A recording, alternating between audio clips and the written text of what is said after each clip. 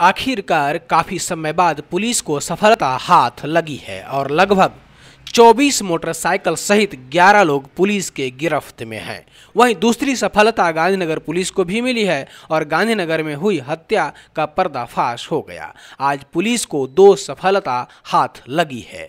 शहर की कोतवाली पुलिस को एक बड़ी सफलता हाथ लगी है। कोतवाली पुलिस ने कार्रवाई करते हुए चोरी के 24 मोटरसाइकिल सहित चोरी के आरोपी व खरीदार सहित 11 लोगों को गिरफ़्तार किया है। अंबिकापुर शहर में बीते कुछ दिनों से बाइक चोरी की घटनाएँ काफ़ी बढ़ गई है। आए दिन थानों में बाइक चोरी होने के मामले दर्ज हो रहे हैं।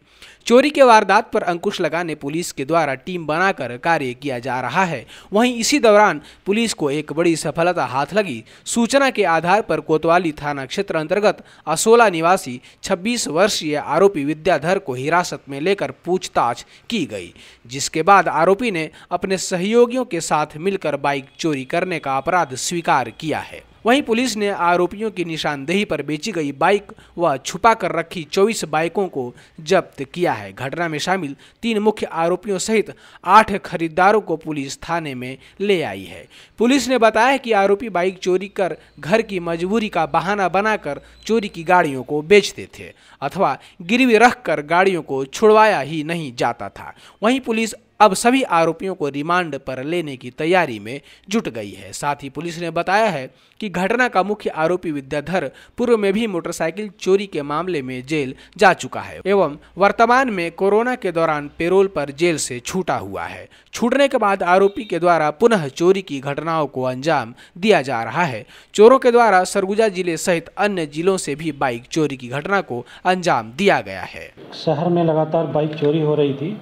इस समय संबंध में हमारे पुलिस अधीक्षक महोदय के द्वारा टीम गठित कर पतासाजी करने का निर्देश दिया गया था। उसी के पालन में पतासाजी के दौरान एक चोर को विद्याधर असोला निवासी को पकड़ा गया था। उसी से पूछताछ पे पता चला कि इसके द्वारा चोरी कर कर अपने साथियों के साथ कई गाड़ियाँ आसपास के क्षेत्र में लोगों को बेची गई और गहना पर रखी गई है।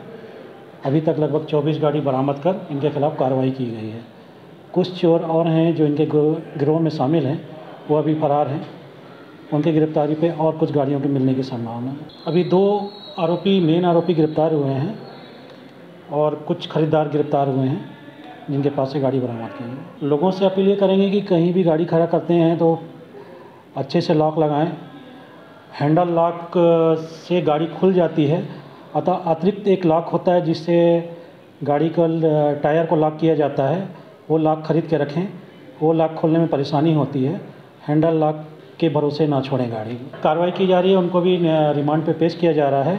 अतः लोगों से अपील है कि किसी से भी गाड़ी खरीदते समय प्रॉपर कागजात चेक करें